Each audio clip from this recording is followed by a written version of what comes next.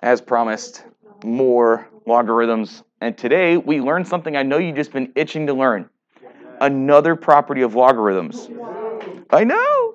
Now, have you have you noticed yet that all the all the log problems that we do, everything has the same base, or can be written as the same base? Have any of you worried worried? Ha, Freudian slip. Have any of you wondered what happens if the bases don't match yet?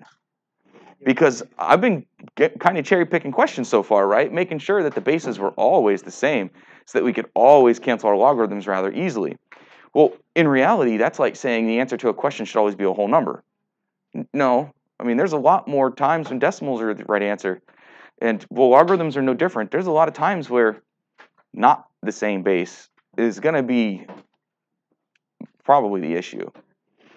Now, there are times when we can deal with that algebraically and get pretty answers. Um, subjectively pretty answers, comparatively pretty, right? I mean, logarithms are rarely pretty. So today we're going to talk about the change of base formula. And the change of base formula is, is called that because it is literally how you would change the base of your logarithm to a different base. I showed you something a couple days ago with the laws of logarithms that I said was not a rule. Let me rewrite what I wrote that day. I wrote that log of A divided by log of B does not equal log base or log base B. Wait, what's wrong with me? Does not equal log of A divided by B. This was the thing I said, right? You guys remember that? Great. The students want it to be. But does that mean that log of A divided by log of B isn't something special? No, it doesn't mean that at all. You see, log of A divided by log of B is actually log base B of A. They're equal to each other. And that's what you're seeing right here. But the one that IB has showed you is even more generic.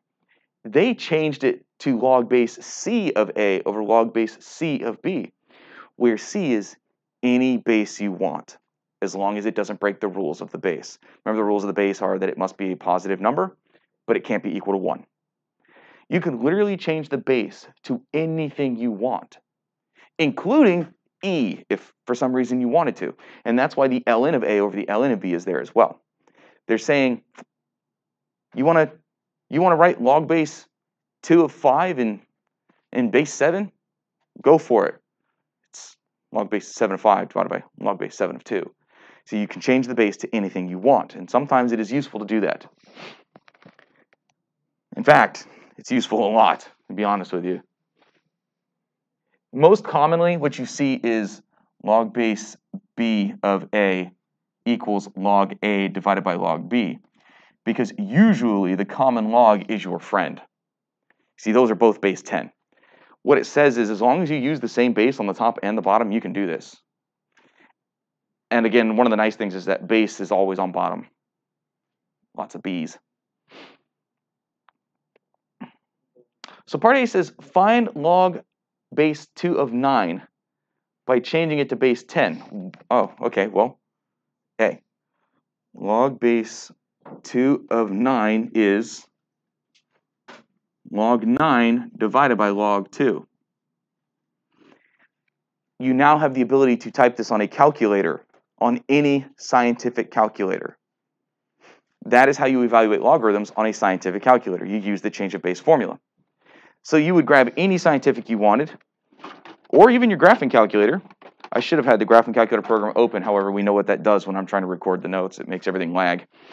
And you have a log button, and you would do log 9. Actually, why am I telling you? I'm just going to do it. Log 9, close your parentheses, divide by log 2, close your parentheses, and hit enter. You get about to 3 sig figs, 3.17.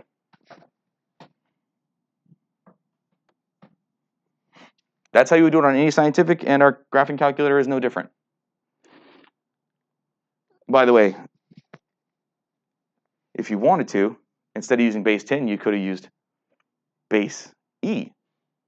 But log base E is ln. ln is just the symbol we use for log base E. So I could say log base 2 of 9 is equal to the ln of 9 divided by the ln of 2. And I promise you, you will get the exact same answer. Guaranteed 100% exactly the same. Is there a reason why that works?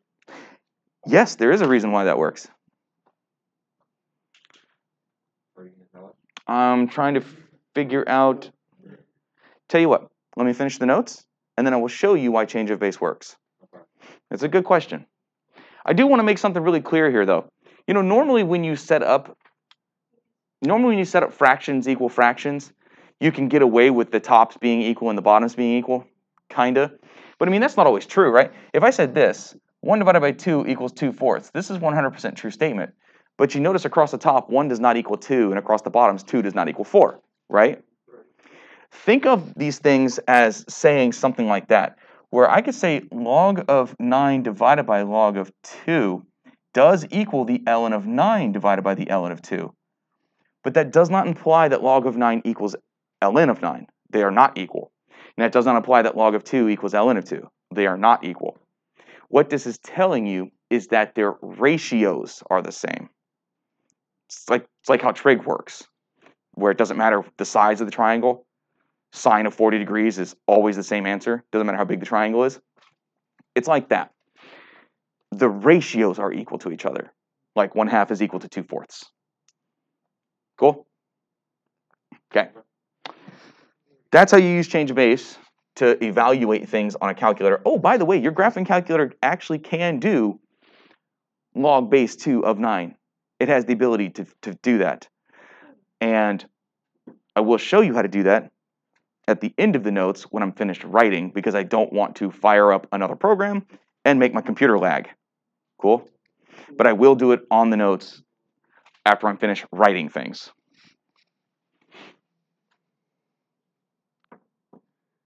Is this the last example for today? Yay!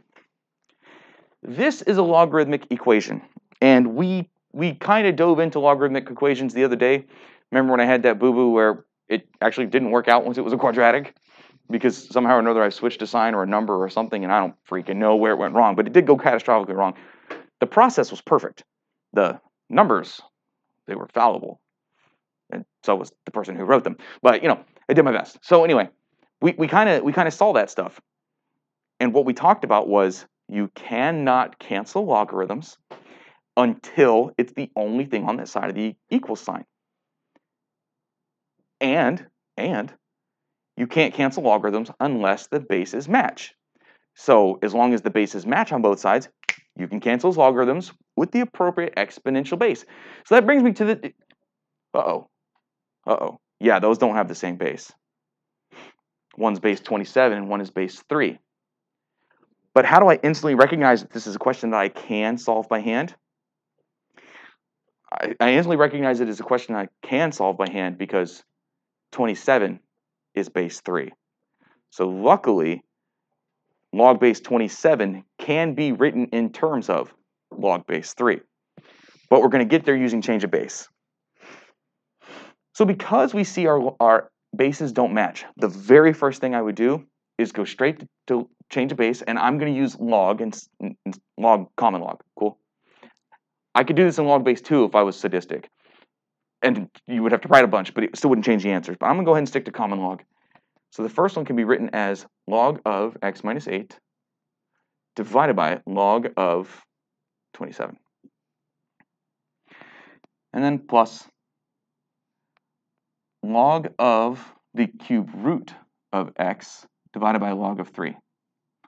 And this equals 2 thirds. So I haven't changed anything yet. I just used change of base.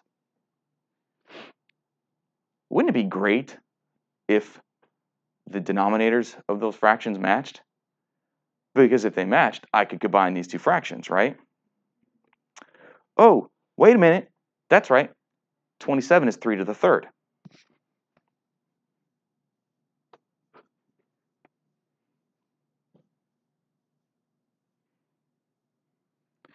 And while I'm at it, instead of saying cube root of x, I'm going to say x to the 1 third power.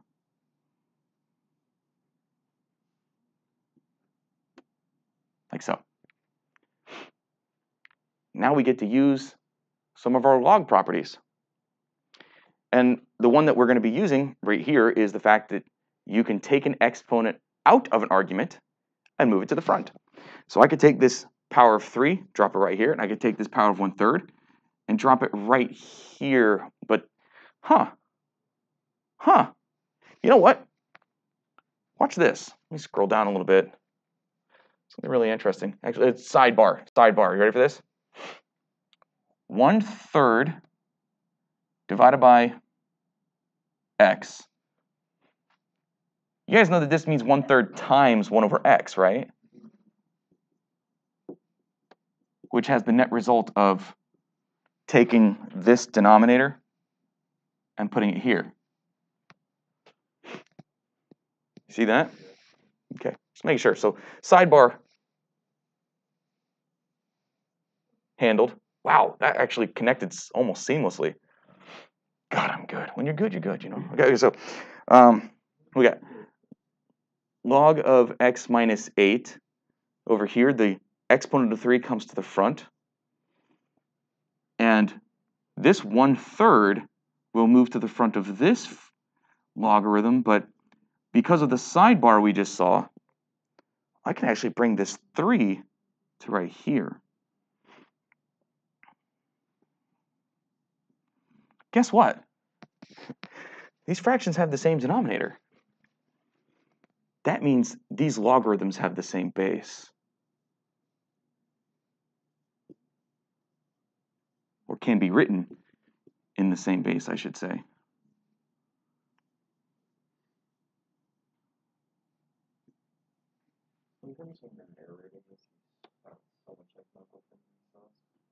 Michael from who? Vsauce? Never heard of that. Really?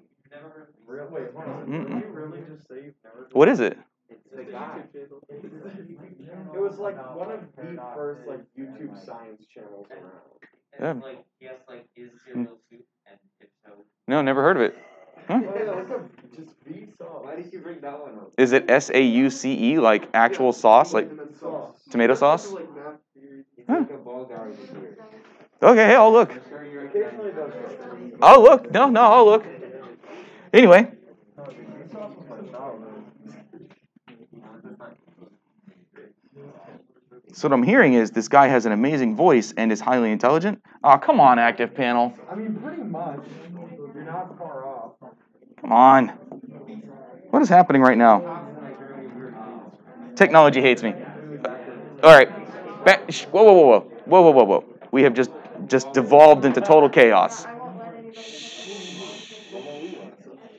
Um, we're not finished yet. Okay, I see a same denominator. That means I can combine this to single fraction.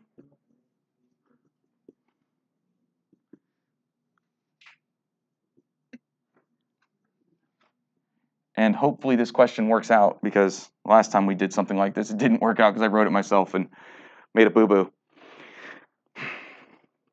You guys like fractions? Yeah, I me either. But but I can't just I can't just undo the change of base thing right here. That doesn't really work. But something I've noticed is that both sides of my equal sign have a divide by 3 on them. You see that? So I'm going to make my life simple real quick just by multiplying both sides by 3. Because now I don't have that going on. So that'll clean it up a little bit. Oh, oh, and you know what? You remember that rule we learned the other day that says when you add two logarithms that have the same base, you actually just multiply their arguments? Those are both log base 10. They have the same base. That means I can write that numerator as a single logarithm in base 10. Log of, and I'm not going to do parentheses around parentheses, so log of x times x minus 8 over log of 3 equals 2. All right, we're getting somewhere. That, whoops. There you go. So we're getting somewhere. We're getting somewhere. Now, here's what I'd like to do. Now that I have a single log divided by a single log, I'm going to undo change of base here. This is where I'm going to undo it. I'm going to write this back as log base 3 of, and then that argument. Do I have to do it this way? No. There's other ways I could be doing it, but this is just the way I like. Question? Yeah, What's up? I think I, I think I, like, figured out, but could you start off by writing, because you make a, a log base, can you make it all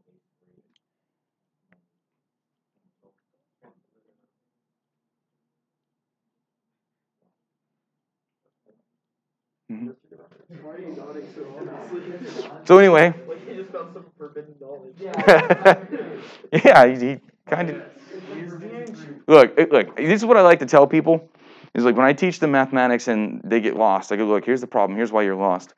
You're lost because you walked around in this forest and you got confused because there was trees everywhere and, and all the trees look the same, right? And I say, well, I, I just went above the forest and said, what's a big deal? They're all just trees. It's all the same to me. You see, when you can see through the math and see the, the higher patterns that are going on, it's just, it's not that it's forbidden, it's just that it's like, there it is. It's the kind of thing that if you try to explain it to students, they're probably never going to get it. But when they see it, aha, you know, it's just cool. Makes me makes me want to nod. Anyway, I'm going to undo change of base here. We're going to scroll all the way back up because necesito más espacio, and we say log ba- log base three of x times x minus eight equals two.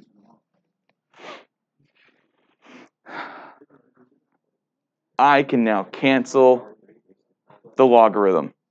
Because it's the only logarithm on the left side and there's no other logarithms anywhere with a different base, I can cancel log base 3 with exponential base 3. So we will exponential base 3 both sides, right there. Let me tell you something that students often do wrong. They forget to change this to a 9. They'll just leave it a 2. Believe it or not, it happens. It really does happen. What we're left with now is x times x minus 8 equals 9. What a fun problem. And by fun, I mean, wow, there's a lot going on. Distribute your x. x squared minus 8x equals 9. And look, it's just a quadratic. It's all it is. Bring the 9 over. Subtract it to the, to the left side. x squared minus 8x minus 9 equals 0 and you're just looking for the two numbers that multiply to negative 9 and add to negative 8. Those numbers are negative 9, positive 1. x minus 9 times x plus 1 equals 0, which solves extremely easily. x equals 9, x equals negative 1. But wait, there's more. Remember, logarithms have domain restrictions. There's restrictions on their base and the argument. The base and the argument must be positive numbers, and they must not equal 1. Does that mean I can't have a negative solution? No, that's not what that means. What it means is the solutions can't make the argument or the base a negative number or 1 or 0. So let's go up and make sure that 9 and or negative 1 do not break the rules. Way back to the very, very beginning. And right here, or right here, it actually doesn't matter. If you plug in a negative 1 to either one of those things, you have a negative argument. So x cannot equal negative 1. It's simply a coincidence that the negative solution was extraneous. You must always check. I could just see the mad scientists that write the IB questions making, forcing the answers to be negative, and they work. So just always check. Yes, sir. Alright, so um, we can't have like negative arguments. You can't have negative argument or negative base, correct. No base, and it can't be zero or one. But like, why? Having like a negative like thing didn't stop imaginary numbers.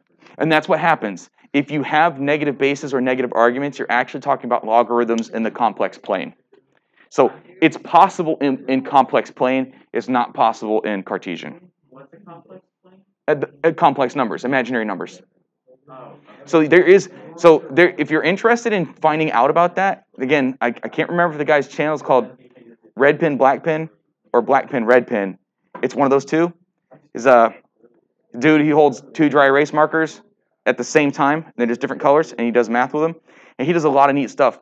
He does like negative factorials, logarithms of negative arguments, all kinds of neat stuff like that. Yes? They could give you two negative solutions that both fail, yes. You would write no solutions. So is it possible to have two solutions? Yeah. Is it possible to have one? Yeah. Is it possible to have none? Yeah. You just have to check them. Can the solutions be positive? Sure. Could they be negative? Yeah. Could they be zero? Sure.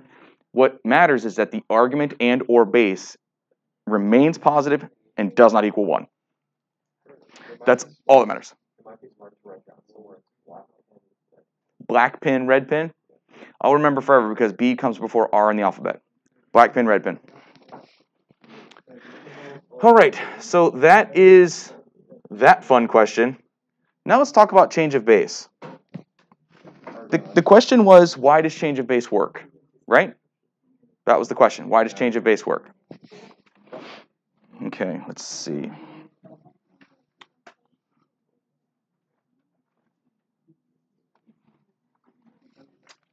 Let's let's talk about log base b of a.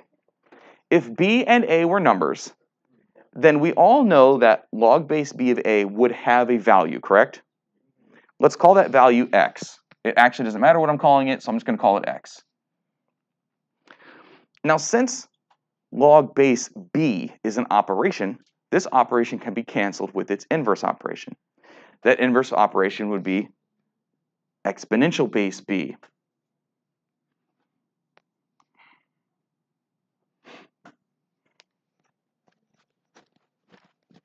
Sorry, itching myself.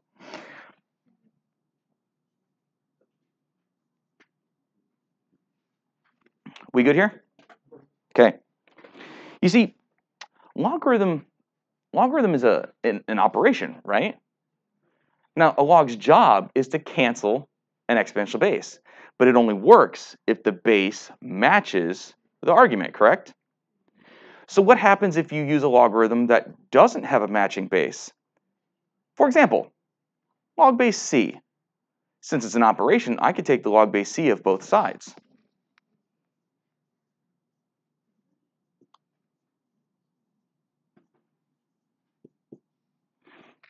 And oh, oh, that's right. When there's an exponent in the argument, it can move to the front.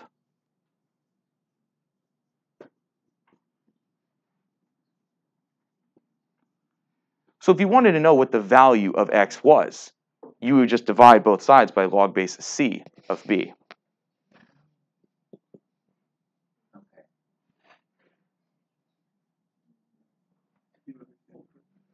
So you see they're equal to each other. And c could be any base you want, including e, which would have been ln. Neat, huh? Now here's the real question that nobody asked. I just used a rule without proving to you that it was true. Yeah. Which one? the exponent. The exponent rule. You see, you have to know why these things are true. Now, I could easily show you why the exponent rule works using the same kind of logic. Yes, sir? Wouldn't the logs um cancel out each other and just be A over B? Oh, no, because log base c is not a number. It can't cancel out. Log base c of something over log base c of something. The log base c's don't cancel because it's an operation. It's like um, hmm, square root bar or something like that. Now, it doesn't have the same properties of a square root, but it's an operation, not a value. So since it doesn't have a value, it doesn't cancel off the top and bottom. Okay? I'm trying to remember if I can easily show you the exponent rule working without using mm-hmm. change of base. Because if I use change of base, I'd kind of be using circular logic, wouldn't I? So I'm trying to remember how to do it without using change of base. Let's see. Let's see if I can work my way through it for a quick minute before I show you how to use log base b on your calculator. So if I have log log of I'll just pick a random a to the m. I'm just trying to trying to logic my way through this for a quick second. Without using change of base. Can I do it without using change of base? Okay. I got it. a to the m means a times itself, m times, correct?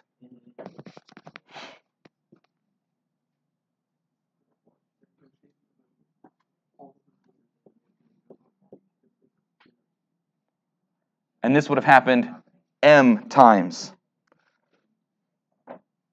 Right? So using the addition law of logarithms, it says when you have a product inside the argument, you could separate that into the addition of several logarithms.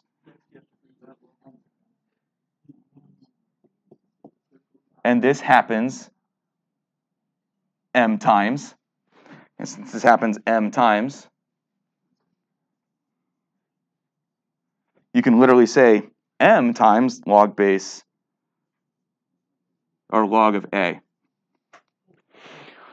Again, though, I had to use a property. I used the addition law. And by the way, the subtraction, the quotient thing, it uses the exact same proof basically as addition. So now the question is, can I prove the addition one without using change of base or without using exponent rule? And there is a way. It's just been a long time since I've had to do it.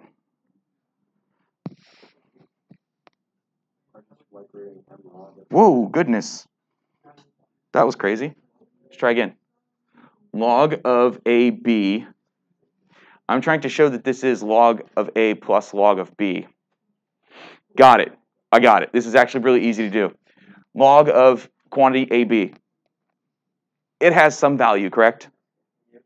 Okay, let's just say that value is x. We can cancel common log with exponential base 10. So base 10 both sides. And what you get is a times b equals 10 to the x. And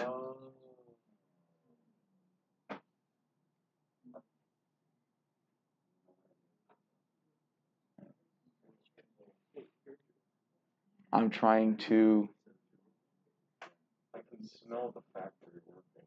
I, I'm trying to I'm trying to get there. I swear I'm trying to get there. It, it's an exponent trick.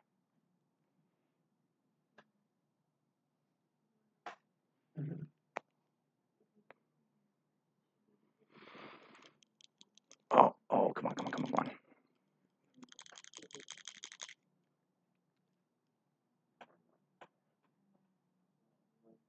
Oh, it's killing me. It, it happens right here, and I can't remember exactly what to do. I'm trying to show, I'm trying to use that when you multiply two numbers at the same base, you add their exponents. That's what I'm trying to do right now. When you multiply two numbers at the same base, you add their exponents. So I am trying to, this is horrible YouTube video, by the way. Because here I am struggling with this thing. It's been a long, this is always the hard one. Only because I forget the trick, and it is a trick. Let me think on it for a second. Hold on. Let me think on it for a second. But while I think on it, we're going to let my subconscious work because it won't quit working. I want to show you the graphing calculator. So let me fire up the graphing calculator program, and I want to show you where the command for log base b is on your calculator. Your calculator actually calls it log base. Mhm. Your calculator actually calls it log base. I'm just waiting for it to start. It's not the fastest thing in the world.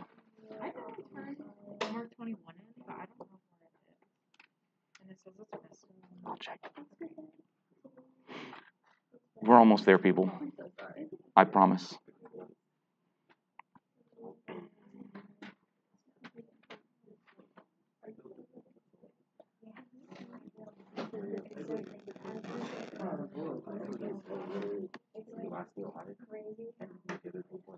Okay, here we go. Let me clear this. This is next year's math. Here you go. You guys want to use your graphing calculator to do log base instead of doing change of base? Shh. Hey, hey.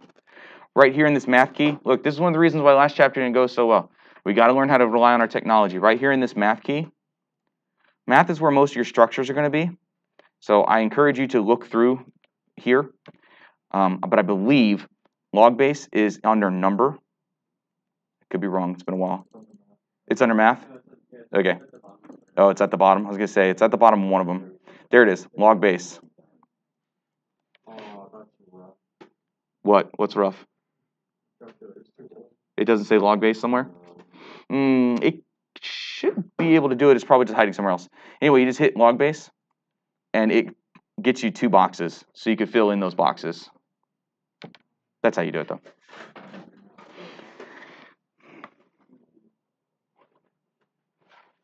Okay, so we're gonna hit record again, and in the hopes that this actually takes it somewhere. We're just gonna hope. Otherwise, the whole end of this video looks bad. By the way, if you're watching this video online, and you don't want to see me possibly embarrass myself, just hit stop now. Okay, anyway, here's here's what we're gonna do. Remember that you can write any number as any base you want. So let's call this number A. Let's call it a base 10. Shh, guys, guys.